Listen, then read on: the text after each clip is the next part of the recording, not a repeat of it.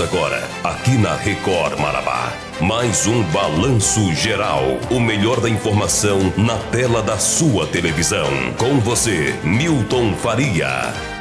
Estamos no ar mais uma vez com o nosso balanço geral aqui na tela da Record, vivendo com você mais um dia de informação, de notícia, aliás, o melhor da informação chegando a partir de agora na telinha da sua televisão.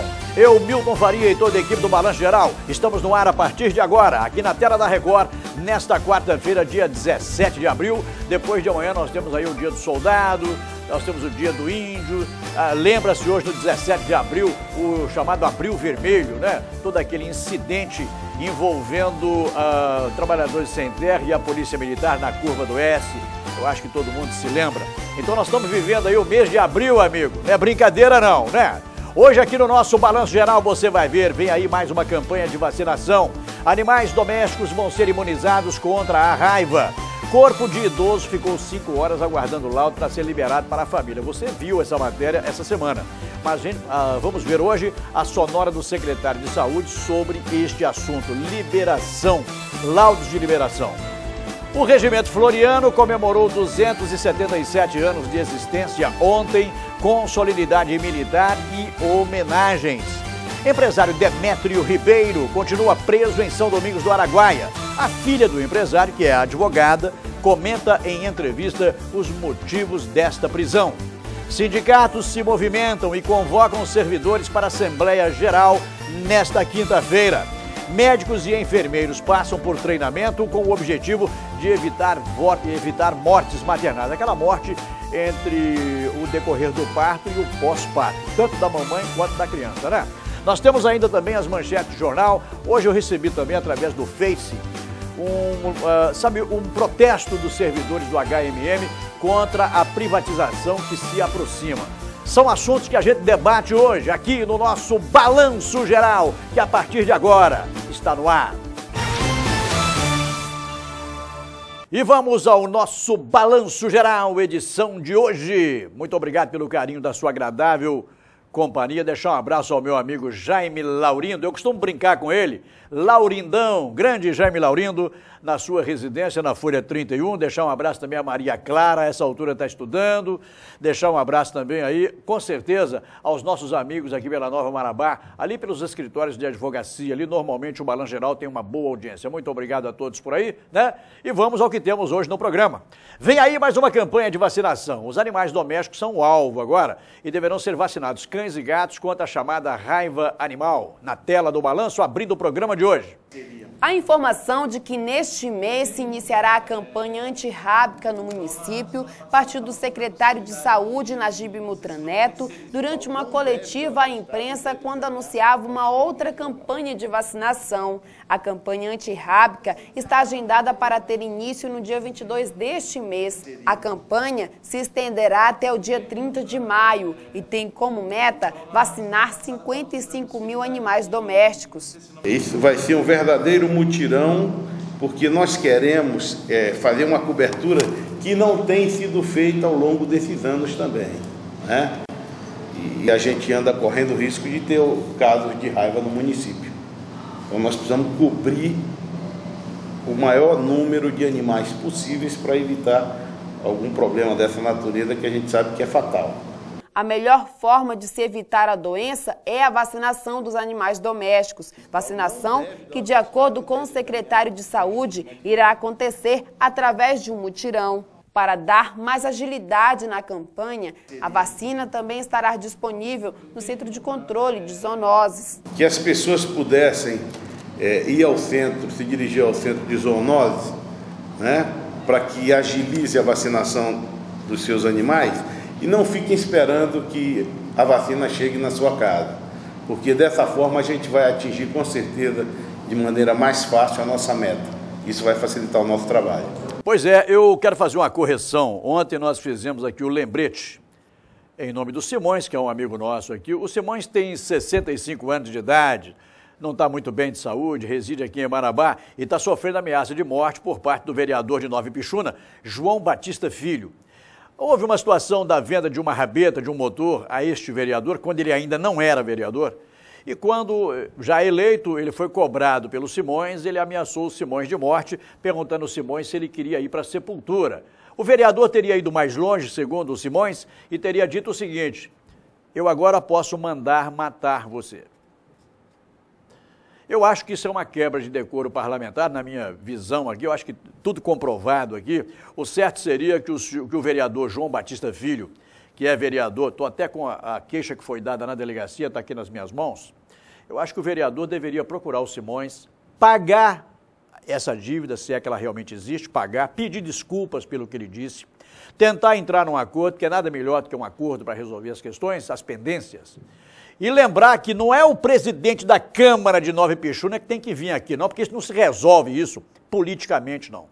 Isso quem tem a responsabilidade em cima desse assunto é o vereador que deve simplesmente procurar entrar em contato, resolver, fazer um acordo e tal, porque não tenha dúvida, esse vereador vai ter dor de cabeça, já foi feita uma queixa na polícia, o Simões está entrando no Ministério Público, essa coisa vai longe. E para o político, isso não é um bom negócio, né? Ter uma, uma imagem arranhada. Vereador, Venha para Marabá, resolva o problema, pague ao cidadão a dívida que ele alega que o senhor deve e pare de ameaçar as pessoas de morte, que isso é uma coisa muito feia. O senhor é vereador e tem que trabalhar a favor da sociedade e não ficar apontando o dedo para os outros e ameaçando. Que vergonha isso. Se tem algum parente do vereador aqui, nós vamos lembrar disso todo dia aqui, até o vereador resolver dar um pulo aqui em Marabá e acertar essa situação aí. Que vergonha. Segunda mostra de dança Eva Chaves, Marabá, neste centenário, a dança te abraça. Essa movimentação é da companhia Iaguara, dirigida pelo Cláudio, ocorre dia 21 de abril no estacionamento do HSBC, a partir das 17 horas e tem o apoio, o patrocínio oficial da Sinobras, do nosso amigo Leandro, nosso amigo Milton Lima e de todos os funcionários, é claro, né? Então pinte lá, vá prestigiar. E você pode fazer até a sua inscrição também, ligando para 9191-7674. 9191-7674, você fala com o Cláudio, né? É boa. Farmácia do Trabalhador do Brasil. Olha, a Farmácia do Trabalhador do Brasil, a gente não cansa de dizer isso aqui todo santo dia. É onde você vai comprar o medicamento mais barato do Brasil, vai ter descontos que chegam a 90%, vai poder parcelar as suas compras no cartão e se você comprar três caixas do mesmo medicamento, aquele de uso contínuo, você vai levar a quarta caixa e não vai pagar absolutamente nada. Você tem aí umas imitações da farmácia do trabalhador do Brasil. Eles colocam na cor vermelha, aproveitam a propaganda e ficam nadando de braçada aí. Mas lembre-se, a farmácia do trabalhador do Brasil é a farmácia do trabalhador do Brasil. O resto é imitação. Fala aí, Reginaldo Rossi! E com vocês, o rei Reginaldo Rossi. Parabéns!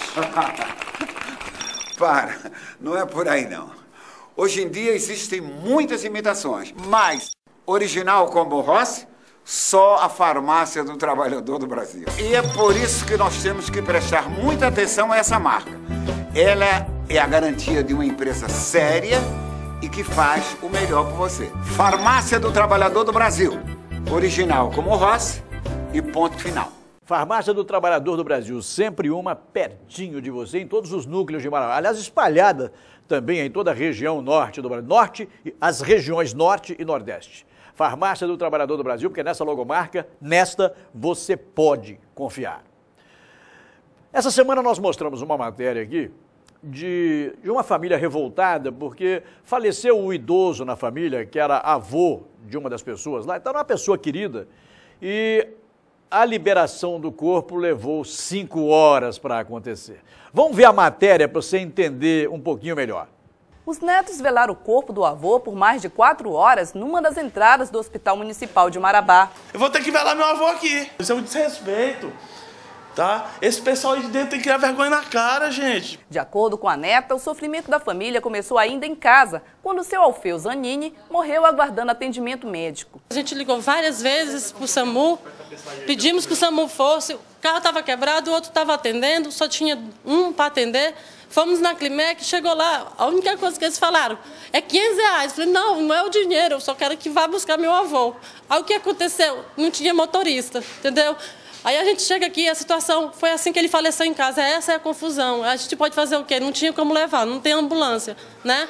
Fui com todo carinho com a secretária, com a, com a médica daqui, trata a gente totalmente com descaso. Eu sou da área da saúde, eu sou dentista, e eu sei, nunca tratei ninguém mal. Eu acho que todo mundo precisa. Então você tem que tratar com carinho. Diante da morte do idoso, os familiares começaram então a dar início aos procedimentos funerais. Contrataram a funerária e levaram o corpo até o hospital da cidade em busca do atestado de óbito. Mas ao chegar à casa de saúde, se depararam com a falta de atendimento. A única coisa que eu pedi, tô pedindo, gente, declaração de óbito do meu avô, para me velar ele da maneira que ele merece, não dessa maneira aqui, igual um cachorro. Meu Deus do céu, que, que cidade é essa?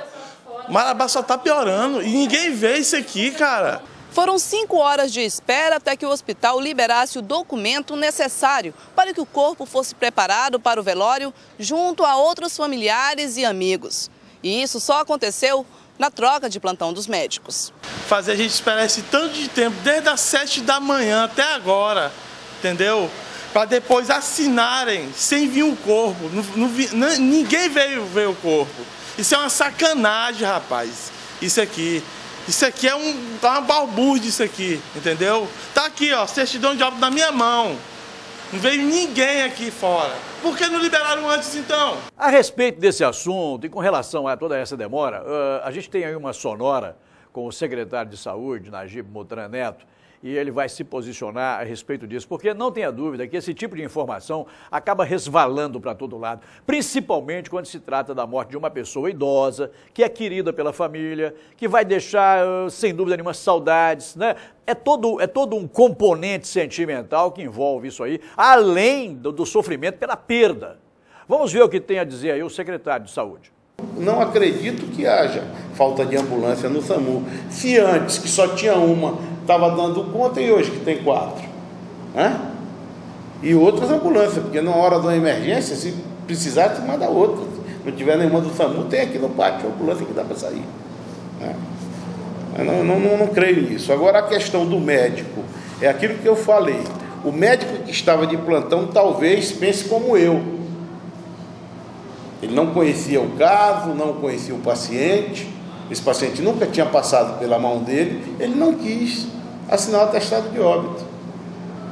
Né?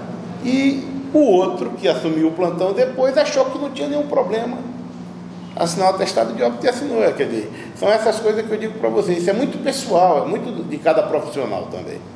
Você sabe qual é o maior drama da existência humana, aquela questão existencial humana? É a morte. Porque é aquela velha história, né? Não se sabe nunca quando ela vem e de que maneira virá. A gente sabe que ela virá um dia. Mas acontece que conviver com isso, quando você perde de repente uma pessoa querida, né, seja um amigo, um parente próximo, a esposa, quem sabe, uh, não tenha dúvida, o, essa coisa envolve assim sentimentos que não dá nem para explicar, né? verdadeiramente. Meus amigos e minhas amigas aqui do nosso Balanço Geral, eu quero fazer aqui um lembrete a você que está acompanhando aqui o nosso programa. Olha, o melhor prazo, o melhor preço, as melhores condições de pagamento. Não, não é história de novela, não. A Citilar é assim, tem tudo isso para você, sempre fazendo o melhor para você. Fogão quatro bocas com acendimento automático, você paga só 299 reais. Na Citilar, meu, meu filho, as coisas andam assim, gente. Celular Samsung para dois chips com rádio FM em 10 vezes sem juros de R$ 12,90. Aquela prancha para deixar o seu cabelo, é? Diga aí. Só não pode molhar que a coisa pega, né? Mas a prancha, olha só, você vai pagar somente R$ 31,90. Vai ficar com o cabelo lisinho, vai poder, né? Pois é. LCD 29 polegadas com conversor, você paga 999. O ar-condicionado Springer classe A no consumo, mensais iguais de 69,90. Hoje na Citilar, um belo dia para você economizar. Todas as lojas Citilar de portas abertas para você. Olha, eu volto daqui a pouquinho e nós vamos ver uh, no próximo bloco que Regimento Floriano comemorou 277 anos ontem com solenidade militar, homenagens e etc. Empresário Demétrio Ribeiro continua preso em São Domingos do Araguaia. A filha do empresário, que é também advogada, comenta em entrevista os motivos dessa prisão. A gente volta já já. Nós já estamos de volta aqui na tela da Record. No Senta Levanta da mesa ali, levanta o Elton Lima, senta minha amiga Cleidiana, né? Como sempre, muito simpática, muito na dela, grande menina, né? Com certeza. Deixar um abraço à família da Cleidiana, lá na Folha 5, né? Acompanhando a nossa programação. Eu ainda continuo aguardando aquela muda de goiaba até hoje. Eu vou te contar um negócio, ô mudinha de goiaba que não vem. Nós trabalhamos em nome do Paintball. Que Parque Paintball? Uma área de 3.300 metros quadrados, anexo ao Rio Tocantins. Fica aí na, no Balneário das Mangueiras, né? Lanchonete, futebol de sabão, boliche humano, tudo para você aproveitar, se divertir, levar a família. Criançada a partir dos 8 anos pode participar, beleza. Você pode comemorar também aniversário, confraternização, evento, aquele evento que você vai fazer, aquele encontro, né? Dá um pulinho lá no Que Parque Paintball ou dê uma ligadinha para marcar agora. 91890073 e 81519495. Dona Lene e o seu neto estão lá. Olha, nós temos uma homenagem de aniversário hoje na tela. Olha a fotografia da criança aí. Uh, vamos homenagear aqui em nome da família. Olha, nesse dia que você seja muito feliz, continue sendo essa criança especial, maravilhosa. Feliz aniversário, são os votos dos papais Augusto e Dona Josinete, que hoje pela manhã deixaram aqui a sua fotografia e deixaram um pouquinho de amor para a gente passar pela telinha da televisão também aqui para você. Viu, querida? Parabéns a essa querida criança, em nome da família, dos amiguinhos. E é claro, parabéns a todos aqueles que sejam de aniversário hoje. Está rasgando a folhinha, recebendo aquele abraço, aquelas homenagens pelo telefone celular. Maravilha, parabéns para você, né? Que Deus te proteja por aí, te conceda saúde, alegria, tudo de bom para você. Já que nós estamos falando no clima de festa aqui, de alegria, de aniversário, vamos falar do Regimento Floriano, que ontem comemorou 277 anos de existência. Em Marabá, menos tempo, né? Mas a existência do regimento, 277 anos. Ontem teve formatura militar, ontem teve homenagens, inclusive, às pessoas convidadas, colaboradores lá do GAC de Selva, comandado pelo Coronel Lopes Cora. Vamos ver aí os detalhes nessa reportagem. Em comemoração aos 277 anos de existência do Regimento Floriano, o primeiro grupo de artilharia de campanha de selva esteve em festa na manhã desta terça-feira para comemorar os 277 anos da primeira unidade expedicionária da Amazônia. Militares participaram de uma formatura.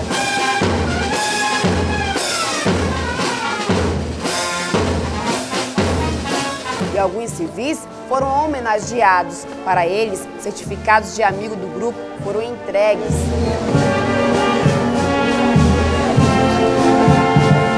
A finalidade das homenagens na solenidade fortalecer o elo de amizades e assim apresentar aos civis a história da unidade desde sua criação no Rio de Janeiro até sua vinda para cá. História que também é possível conhecer através deste acervo localizado na própria unidade. O primeiro Jaci de Selva ele é uma unidade histórica no Exército, é a única unidade expedicionária da Amazônia.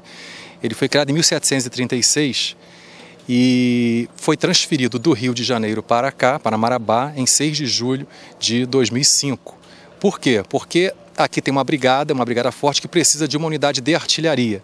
E esta unidade ela estava há muito tempo no Rio de Janeiro e não havia mais a necessidade, tendo em vista outras unidades que lá existem. E veio para cá, com todo o seu acervo histórico.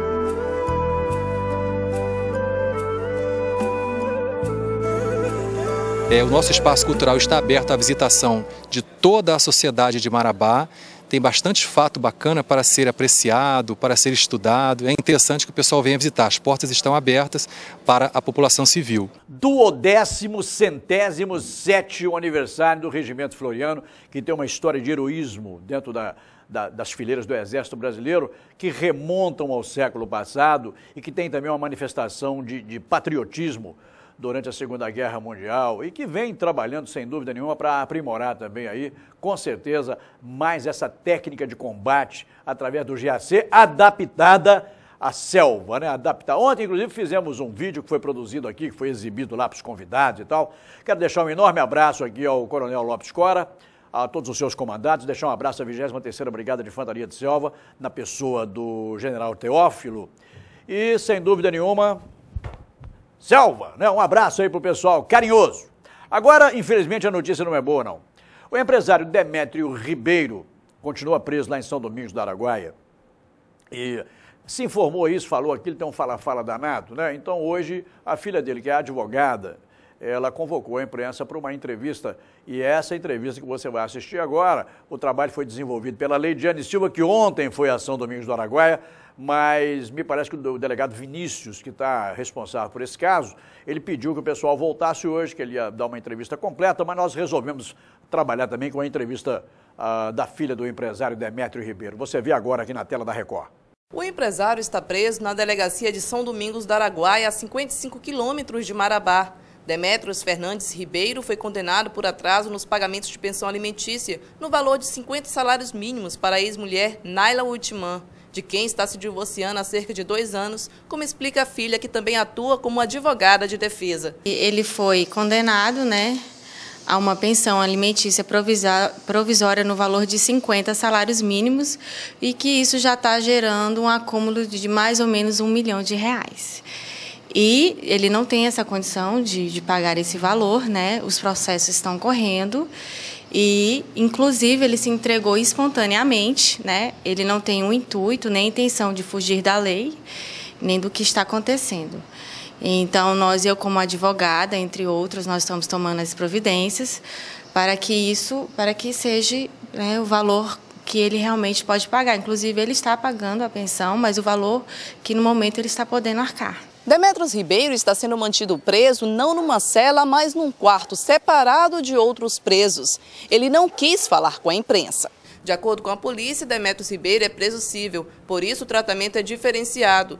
O primeiro suplente de senador já foi tido como um dos empresários mais sucedidos em Marabá até 2007, quando as crises financeiras tiveram início na Usimar, a primeira siderúrgica a ser fechada no distrito industrial da cidade. Isso ainda está sendo discutido, está sendo visto, e eu tenho certeza que na sentença final vai ser é, definido o valor, o valor justo e correto que no momento ele pode pagar, que a condição financeira do senhor Demétrios não é mais aquela condição que ele tinha anterior. E hoje é uma outra realidade, como todo mundo sabe. A realidade não só dele, mas de como de todos os empresários é bem diferente. O empresário Demétrio Ribeiro, ainda nos tempos do quando ele adquiriu o SBT e que ele tinha uma participação no programa, de um programa, ele naquele momento político e tal, ele ele investiu bastante em campanhas políticas, inclusive do senador Mário Couto, ele é suplente de, de deve, continua ainda suplente de senador e tal. Uh, você sabe como é que é? De repente você usa um programa, você fala as coisas, você arruma quem te adora e arruma quem te odeia, né? Então, essa é a grande verdade. E o Demétrio acabou conquistando inimizades. Ao falar mal de muita gente, todo mundo se lembra aí das pegadas em empresário, em políticos, etc. Então, o Demétrio é aquele homem que arrumou algumas amizades e muitas inimizades e muitas antipatias. A filha dele não tem nada com essa questão. A questão do Demetrio hoje é uma questão familiar, né? É uma questão para se resolver lá a nível de justiça e tal. Mas, nesse momento, aqueles que, né, de repente, não amam muito o Demetrio Ribeiro, estão aí, os telefones não param, né? Ligando para lá, ligando para cá, olha, o homem está preso, não sei o que e tal. Então é o tal negócio, a gente precisa tomar cuidado com aquilo que a gente faz, de que maneira a gente age, porque em algum momento nós vamos nos encontrar com a gente mesmo, com aquilo que a gente produziu, com aquilo que a gente falou, com aquilo que a gente, infelizmente, às vezes ilou. E é o que está acontecendo no momento. Eu torcer para que essa coisa acabe bem, né? E que, sem dúvida nenhuma, ele volte para o convívio aí do, do, do, dos seus negócios, etc e tal. Agora, é o tal negócio. Pensão alimentícia, filho, você tem que pagar. Não tem conversa, isso aí é uma questão séria, porque aí não é uma questão penal somente, é uma questão social. Envolve criança, essa coisa toda, então não tenha dúvida. Uh, vai, se, vai se ajeitar as coisas aí, mas a dívida vai continuar existindo e o empresário com certeza vai ter que pagar. Se não tem a dúvida, vai ter que pagar. Jogador de futebol milionário aí acaba indo para cadeia porque não pagou, você imagina um empresário aqui em Marabá. Não é verdade? Ora, ora, ora. Daqui a pouco a gente volta, sindicatos se movimentam e convocam servidores para a Assembleia nessa quinta-feira. E médicos e enfermeiros passam por treinamento com o objetivo de evitar mortes maternas. É um minuto só, a gente não demora não. Estamos de volta já já. Nós já estamos de volta na tela da Record e é hora de manchete de jornal Folha do Pará. O nosso amigo Paraguaçu deixou aqui hoje o jornal. Tem aqui uma foto que foi tirada durante o café do centenário. Aqui se ah, comenta também Comissão Brandão, a luta pelo estado de Carajás. Olha, essa questão da luta do estado de Carajás, isso foi, iniciou em 1989, ainda na época do professor Brandão, do José Soares. Até a comissão trocou agora a presidência, quem assumiu foi a professora de, de idiomas, Magda Gobira. Mas essa campanha acabou servindo para, né, pra, como tema de campanha e continua trazendo muita gente de fora que quer pegar uma boquinha nessa questão do estado de Carajás, né? Então, isso aí é mais uma bandeira de luta. É claro que existe muita gente séria envolvida nisso, mas existe muito aproveitador aproveitando essa bandeira do estado de Carajás. Eu quero deixar um abraço aqui ao professor Brandão, meu particular amigo, ao Zé Soares, que foi candidato a vereador nas últimas eleições, não conseguiu se eleger, mas é o homem que mantém aí a comissão Brandão em andamento, né? E deixar um abraço à professora Magda Gobira, que agora está com essa, com essa responsabilidade a mais nas mãos, né? Um abraço e vamos em frente. E não vamos permitir que, a comiss... que, que esse estado de Carajás seja apenas uma bandeira de luta para dar colher de chá para neguinho que vem de fora para se dar bem em Marabá. Abra o olho, meu caro, conversa tem muita, verdade nem tanto, né? Bom, aqui tem mais, tem a comenda do centenário, aqui tem. O jornal está repleto de informação aqui. É o meu amigo Paraguaçu, tá? Folha do Pará. Obrigado, Paraguaçu. Grande abraço aí para você. O Diário do Pará traz, infelizmente, uma, uma manchete de violência. É, vítimas, violência mira jovens e PMs. Os paraenses convivem com a rotina de assassinatos que às vezes somam até 12 por dia. Jovens estão cada vez mais presentes nas estatísticas das vítimas e mesmo policiais militares já se tornaram alvo da bandidagem. Bom, aqui vai jogar o, o, Remo e o Flamengo. É a hora do tudo ou nada. Né? O Remo encara um Flamengo empolgado com a vitória em clássico. Faraó, a MUB vai gastar 720 mil em um ano com aluguel de hotel. Pode? Quem não pode? Quem pode, pode. Quem não pode, não pode, não é verdade? Na internet, bandido pregava ódio à polícia militar. É bandido, é bandido. Bandido não fala, bandido vai pra cadeia. Na Câmara, pedido abertura de CPI das obras do BRT. Uh, telégrafo, assaltantes invadem casa de oficial da PM. Você pega o jornal hoje, amigo, e você sabe o que, o que encabeça os noticiários hoje é violência, todas as formas de violência. Ou nós tomamos, sabe, uma atitude no Brasil, sabe, para eleger melhores deputados e fazer com que as coisas mudem, ou isso vai piorar muito um país que vai sediar uma Copa do Mundo, que vai ter um encontro da juventude agora com a presença do Papa, gente do mundo inteiro presente no Rio de Janeiro. A gente precisa mudar as coisas no Brasil. Não dá para continuar como está. Não dá. Agora, aqui tem uma notícia boa. Saúde, a insulina vai voltar a ser produzida no Brasil. A expectativa é que o medicamento usado no tratamento da diabetes chegue às farmácias em 2014, produzido no Brasil. Nós temos uma inteligência rara no Brasil, Uh, vamos falar de técnicos, pós-graduação e etc., e cabeças incríveis que saem do nosso, das nossas universidades no dia a dia. Né? Nós precisamos aproveitar essa moçada toda e mantê-las no Brasil, porque o Brasil tem inteligências raras.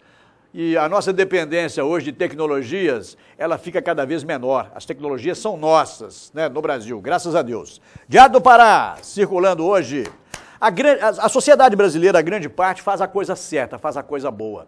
A minoria, a minoria é que é, faz a coisa errada. E, infelizmente, entre essa minoria de gente que faz coisa errada, você procura nas câmaras municipais, nas assembleias legislativas e principalmente na Câmara Federal, e você vai encontrar os responsáveis, em grande parte, por isso que está acontecendo. São os caras que legislam, que fazem as leis e que se preocupam muito mais consigo mesmos do que com aquilo que vai chegar à sociedade.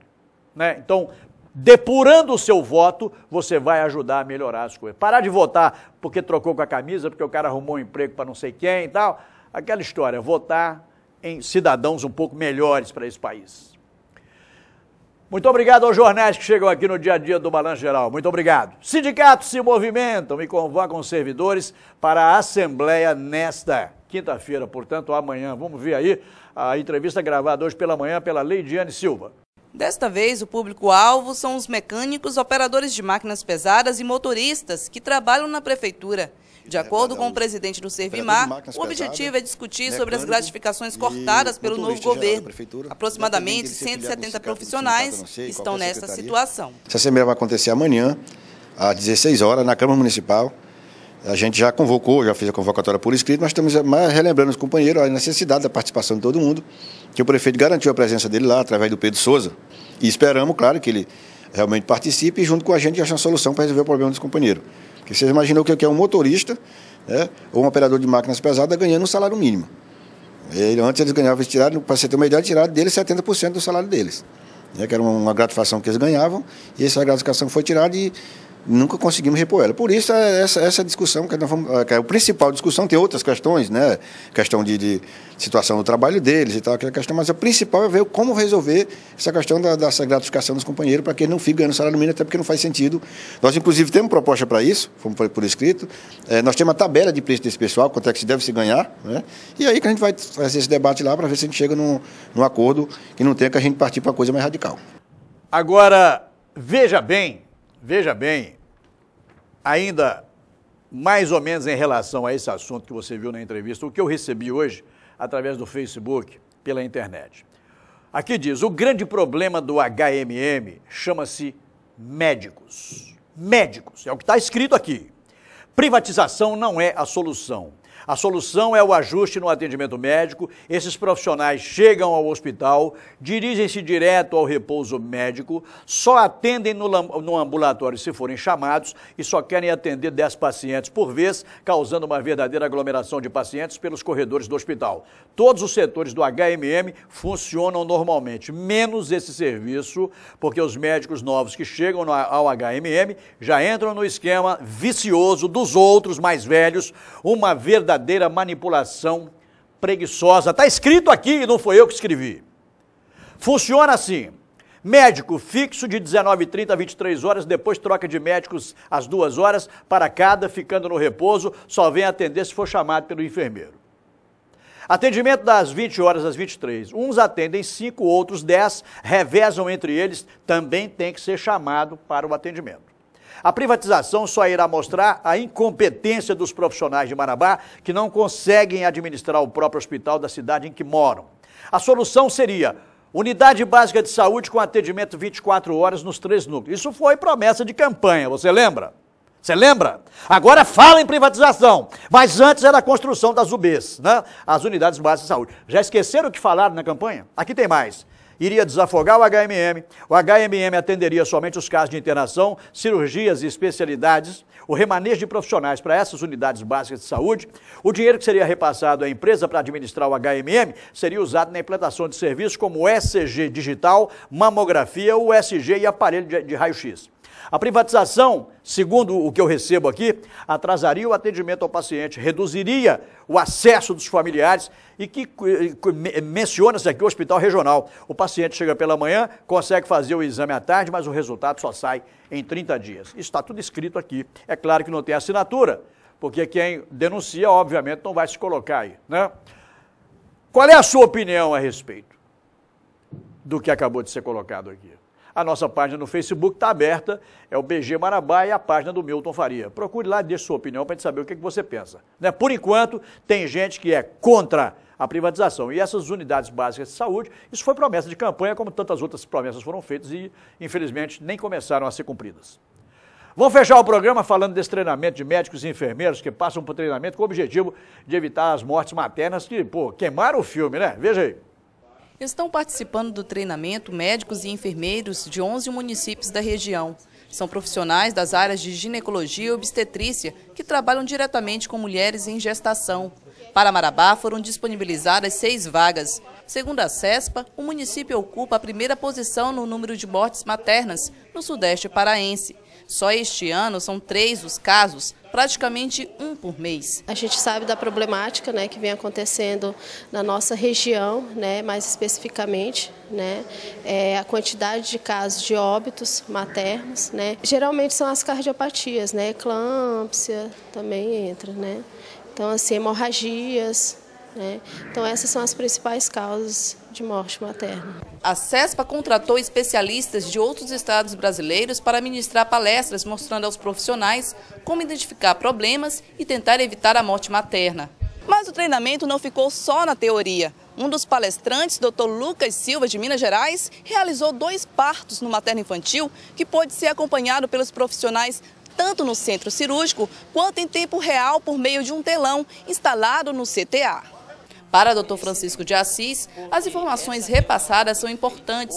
Entretanto, disse que é preciso muito mais do que treinamento para que o trabalho nas casas de saúde tenha bons resultados. Que fique bem claro que o Hospital Materno Infantil é a ponta final da assistência.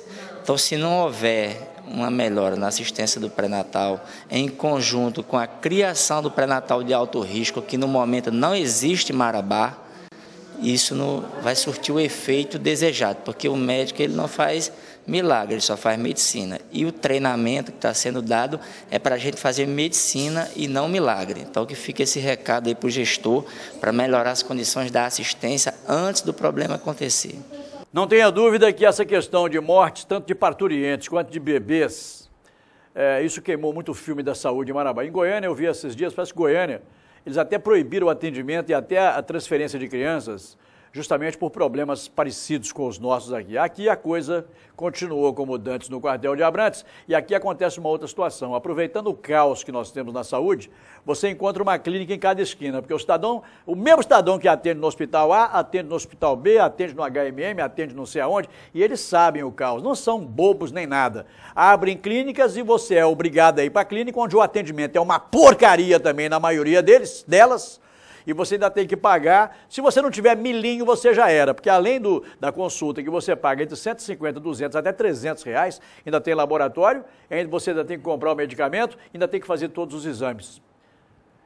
É da, da, da dessa, de toda essa problemeira, da miséria humana, é que sobrevive um sistema de saúde no Brasil que é uma vergonha para todos nós. Agora é o tal negócio. Isso vai mudar quando? Final do Balanço Geral, a gente volta amanhã, se Deus quiser e com certeza, sempre dizendo que tem que ser dito, doa quem doer. Estaremos aqui ao meio-dia, não perca o encontro, porque nós estaremos aqui, todos nós do Balanço Geral. Se Deus quiser e com certeza, boa tarde e até amanhã.